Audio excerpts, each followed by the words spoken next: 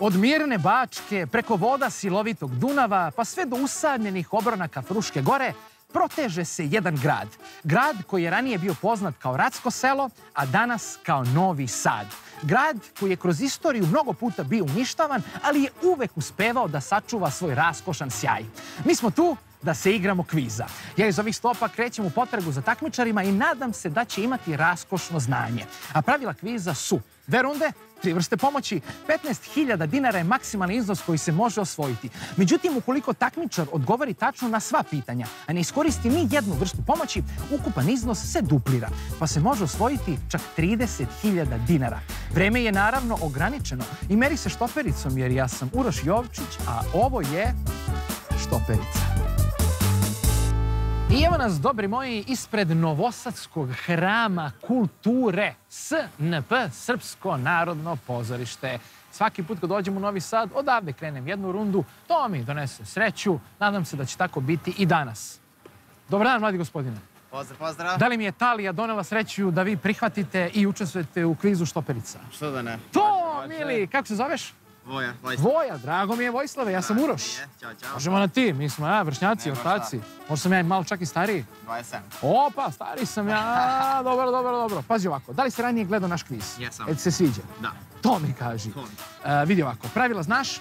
Da. Ok, dve runde, prva runda ne odgovaraš ti, tražimo pomagače. Ok, e, trebalo bi da su tri lagana pitanja, ali su tri mnogo teška pitanja. Ako uspeš da prođeš prvu rundu, vidjet ćemo šta ćemo, ok? Može, može. Nije lako, Ajmo, šalim ajmo. se, šalim se. Ali vidi, imamo određeni uslov. Znači, ne može sad baš svako da ti pomogne. Može da ti pomogne samo onaj, pazi ovo, ko ima Instagram profil. Imaš ti Instagram profil? Imam. Jel pratiš štopericu? Zapratit ću. Brate, molim te, ljubite, brat, zapratiš to. Ne moraš mene, ali zapratiš I štopericu. tebe i Slopericu. Ma ne moram mene, vidi, samo štopericu. A, ništa, da nađemo pomagače, pomagače, pomagače. Hoćemo, ti mi kaži gde je bolje. Idemo ka tamo, ka dole. Ajmo dole. Ma bolje tako. Ajmo dole, dobri moj. Sad ćemo da pitamo ove divne ljude da li su oni raspoloženi da nam pomognu milisekundu jednu. Zanima me samo dobri ljudi, da li vi možda imate Instagram profil? Imate, odlično. Ako stignete, samo zapratite štopericu, krivi štoperica, čisto, a eto, što da ne. A sad mene zanima, da li možda znate koje je zajedničko lično ime pevačicama Pavlović i Todorović? Ka- To, to, to, kako si rekao? Jeste Milica, to je to. Milica Pavlović i Milica Todorović. Bravo, majstore. Hvala puno na pomoći. E, Hvala puno na pomoći. E, Hvala na pomoći, gospodine. Nećemo vam bacimo kosku. Izvinite, izvinite, izvinite. Živi bili, uživajte, prijatno, prijatno. Eto, Milica, to je tačno odgovor. Mada, ime Milica je realno jako popularno ovaj, u Srbiji. Ja imam recimo tri sestre Milice. Ima jednu zovemo Mala Mica, Velika Mica i Mica Pajović. Majke mi ne laže. Dobar dan, dame, da li ste možda raspoložene da nam pomognete? Sekundicu jednu. Da li želi neka mlada dama prići ovde do mene? Ne, neću dugo da vas maram. Samo da vas pitam da li možda slučajno imate Instagram profil? Kad budete stigli, zapratite štopericu, eto, ako vas zanimaju na pitanja, odgovor i to. A sada mene zanima, da li možda znate kako se zove građevina koja služi kao orijentir i upozorenje brodovima i ostalim plovilima? Svetli, tu je tačan odgovor! Hvala puno na pomoći, divni ste, prijatno, prijatno. Eto ga! Dva pitanja, dva tačna odgovora. Da li ste vi, damo, raspoloženi da nam pomognete? Ćao, face, kako ide? Jel slušaju kuce? Jel slušate vi njih, a? dobar dan, dobar dan. Joj, joj, joj. Sad ćemo. Naći ćemo naći. Hoće možda ti da pitaš nekoga? neko. Ajde. Hajde, ljubite, brat, pazi ovo. Evo, ja ću da, da, da, da ti dam ovaj cue card. Vidi ovo, znači pre nego što odgovore na pitanje, pitaš ih da li ima Instagram profil i kaži, molim vas, obavezno da zaprate štopericu. Jasno. Vidi, štopericu i onda ih pitaš ovo poslednje. A ja ću da merim vreme, imaju 10 sekundi da, ovaj, da, da odgovore. Znači, to ti je to, dobri moji, da nađemo neko ko će da nam pomogne. Dobar dan, možda vi, damo, želite da nam pomognete? Kviz, štoperica, evo, gospodin će sada vas pita dva lagana pitanja. te, nemoj Nisu teška.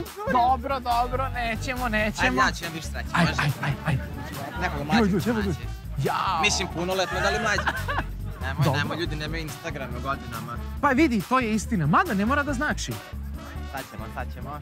Aj ti ih sve pita, ja ću da. Izvinite, Pazi. ovo. momci, ili ima neko 18 godina? Može, ti si prvi rekao. Eto, šta ti kažem? Brate moj, Ćao. Voja. Ovaj, slušaj, jedno pitanje, to je prvo, imaš Instagram? Bi mogao zaprati štopericu, to nam je bitno. Ajde, brate moj, sad odmah molim te da vidimo kako prati štopericu. Tamo ja da vidim kakve mi slike kače tu. Da, ukusan što. Štoperica, jeste.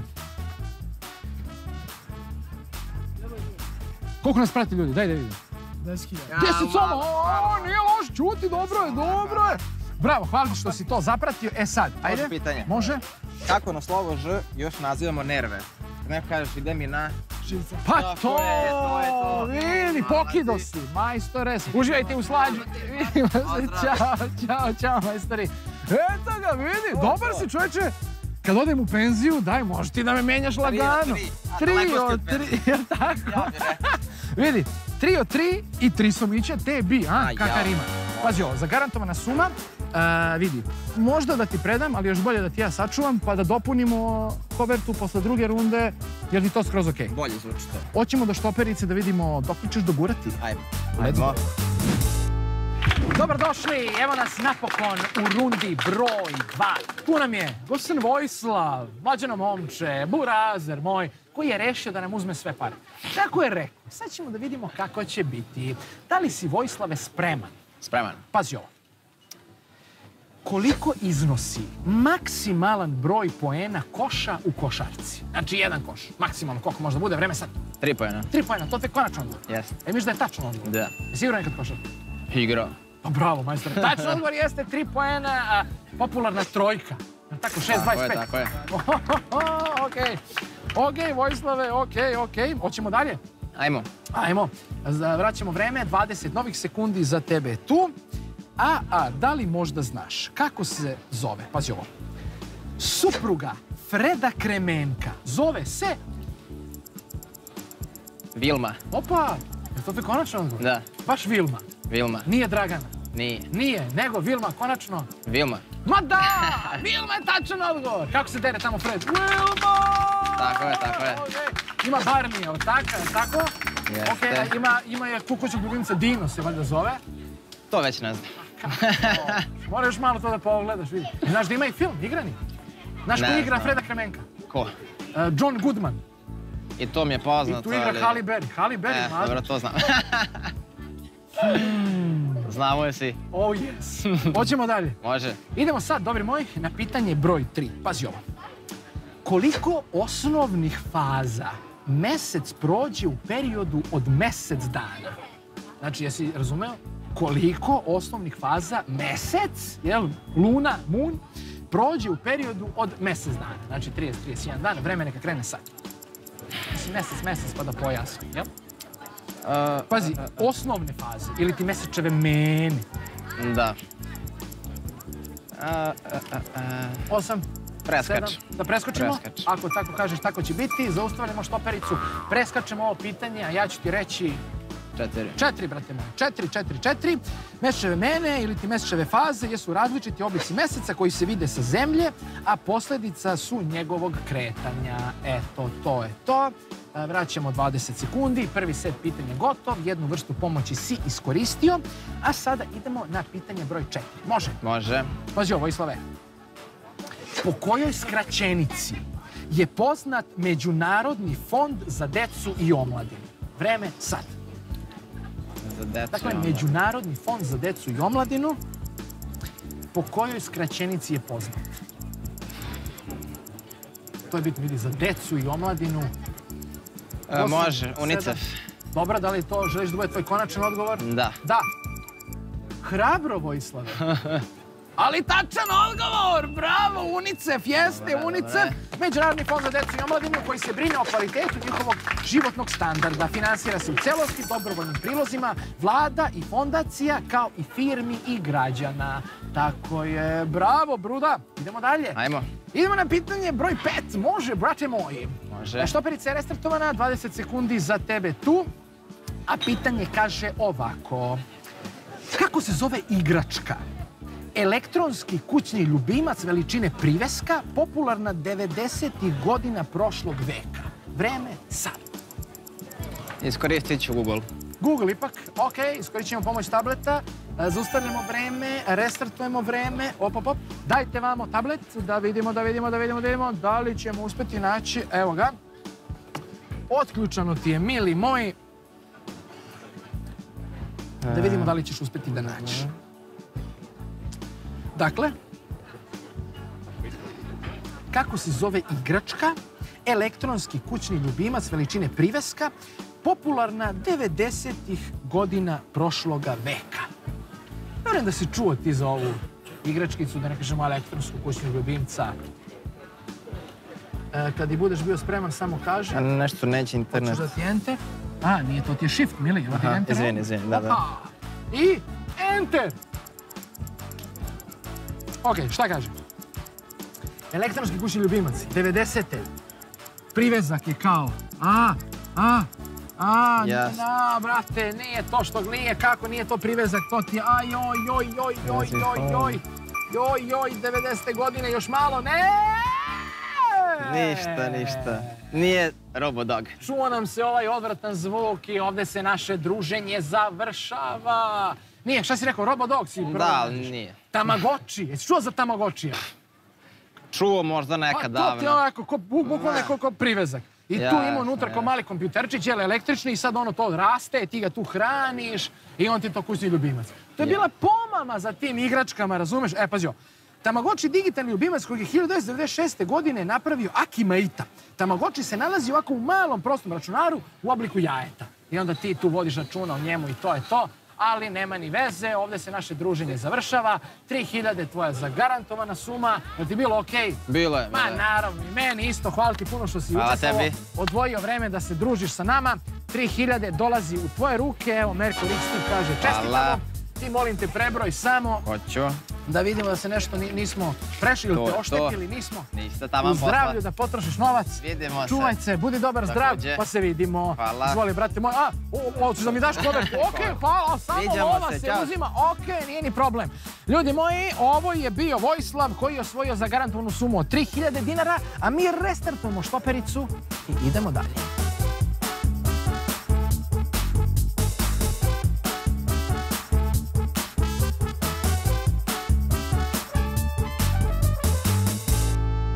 I evo nas, e, sam centar, suvi centar Novoga Sada, kažu najbolje mesto da odavde krenemo u potragu za takmičarima. Ah, ljudi moji, mogu reći, dugo nisam radio, još uvijek se privikavam, jurim, želim, hoću što pre da nađem neko da se malo podružimo, pa da vidimo. Dobar dan, dobar dan, je li neko raspoložen da se druži s nama? Ne? Dobro, ništa, idemo dalje.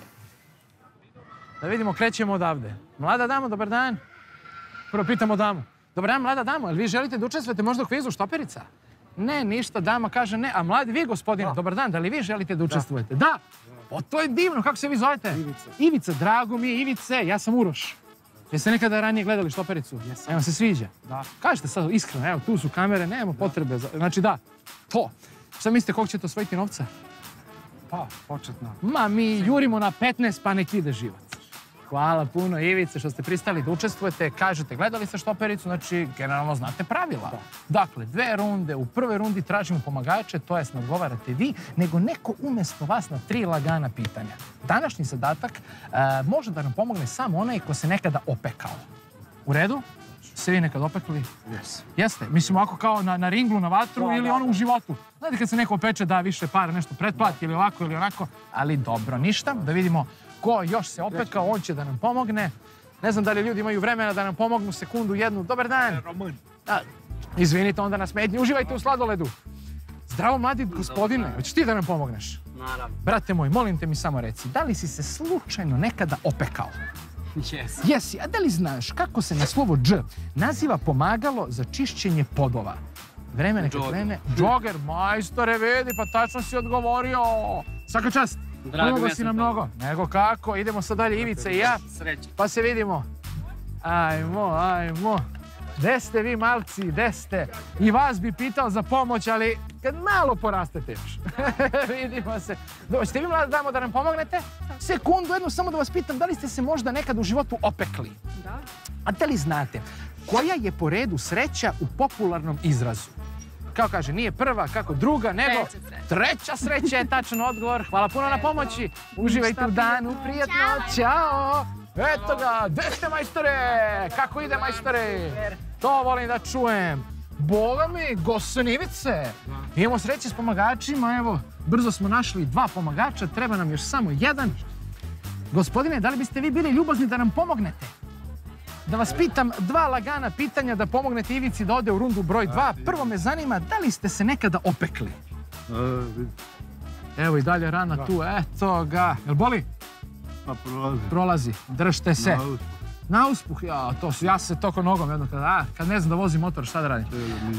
A da vas pitam, koje su boje pasoši državljana Republike Srbije? Da nam je crvene je. Tačan odgovor. Živi bili, hvala puno na pomoći.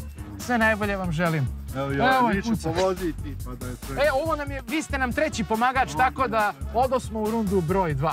Pomogo nam gospodin, tri pomagača, tebi zagarantovana suma 3000 dinara, evo i ovdje u kovertici, ali pazi, rekli smo jurimo 15. Znači, ovo neću još da ti predam, čekamo kraj druge runde i da dopunimo kovertu. Hoćemo do štaperice. Može. Ajmo.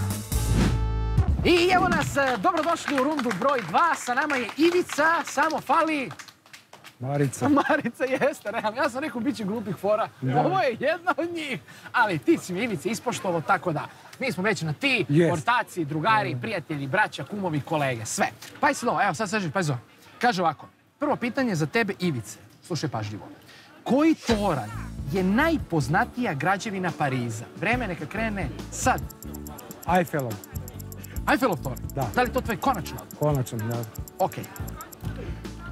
Tačan odgovor, majstor, Eiffelov toranj, tako je, bravo. Bravo. Koliko santimetara je visok Eiffelov toranj? Po 400 metara onako. Ili više. Jel ima toliko? Ne, tako nešto. sam Ja mislim da je to, kažu da je je najveća struktura koju je čovjek napravio ono posle ne znam koliko godina. Pa za tu, Eiffelov toranj. Da, da, da, da, da, da, da. Koliko je to istina vidjet ćemo. Hoćemo Da. dalje. Da, može. Da li slušaš muziku? Da. Koju vrstu muzike slušaš? Zabavno. Zabavno. Da. Ok, ok. Zanima me, jedna pevačica ovdje u pitanju, ja ću da restartnem vreme.